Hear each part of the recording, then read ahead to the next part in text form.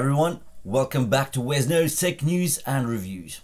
Today I've got some good news and bad news. So the good news is is that we have tested the Fitbit Inspire 2 in volatile and utterly and madly unpredictable conditions. The bad news are really not that bad.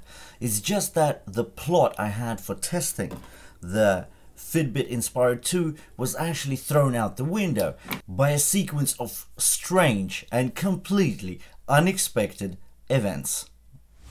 If you are new to Wes Knows Tech News and Reviews, we talk about the latest tech news. We do brutally honest reviews and share hacks and tricks along the way.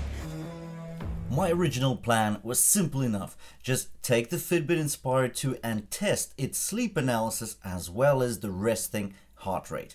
The sleep analysis was to be done by benchmarking it against the GTS 2e from Amazfit, a premium smartwatch. And then the resting heart rate was supposed to be benchmarked against a medical grade Viatom O2 ring. It measures your SpO2 continuously as well as your heart rate. Simple, that was the plan. And then things just got complicated. So basically, I did go to sleep, at 3.45, yes, a bit late, but nonetheless, I go to sleep. And then at about 6.30 am, I wake up because the alarm, the fire alarm is screeching. I jump to the window, there's like lots and lots of fire engines around the house. The fact is, I do live in a high rise. So within two minutes, I'm outside in my jeans, in a sweatshirt, standing at a socially acceptable distance away from my neighbors. And we're all outside. And it's like minus 5 degrees Celsius. It's very chilly to say the least. Within about 30 minutes, they did tell us to go and shuffle back to bed because it was a false alarm. So that's a good. So anyway, at about 7:10 a.m., I'm back in bed and I fell asleep. Naturally, I missed my alarm, my 8 a.m. alarm, and I actually woke up 10 minutes before my 9 a.m. scheduled call.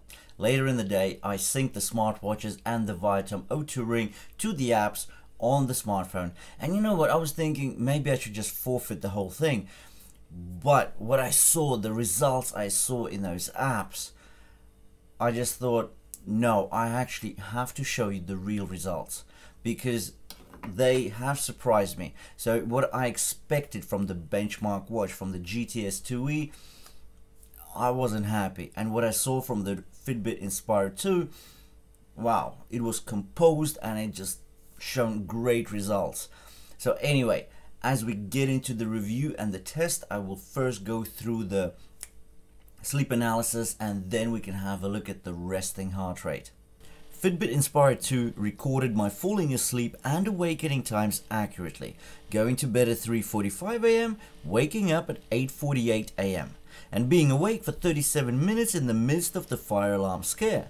Awesome. Now let's take a look at the so-called benchmark, the GTS 2e from Amazfit.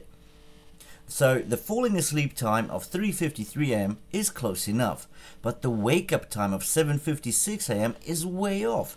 Indeed, the alarm was set for 8 am, but I missed it and woke up at 10 to 9 am. Also, the fire alarm time awake of 23 minutes is not correct at all because I looked at the time and it was from 6.30 till 7.10. That's 40 minutes. 23 minutes is half of that. So if we look at the resting heart rate, the benchmark was set by the medical grade heart rate and continuous SpO2 monitor from Viatom. Now the O2 ring clearly plots the resting heart rate, averaging in at 63 beats per minute over the night. Now Inspire 2 is very close with just 61 beats per minute and the GTS 2e has recorded 58 beats per minute. If we calculate the variances in percentages, then the Inspire 2's resting heart rate is underestimated by 3.2%, while GTS 2e is underestimating the heart rate by 7.9%. What can I say? The test and review did not go according to plan, like at all. But this was a real life drama with real results. And the fact is, the Inspire 2 really impressed me. It just did its thing. It doesn't matter what's happening around, it just does its thing, like clockwork.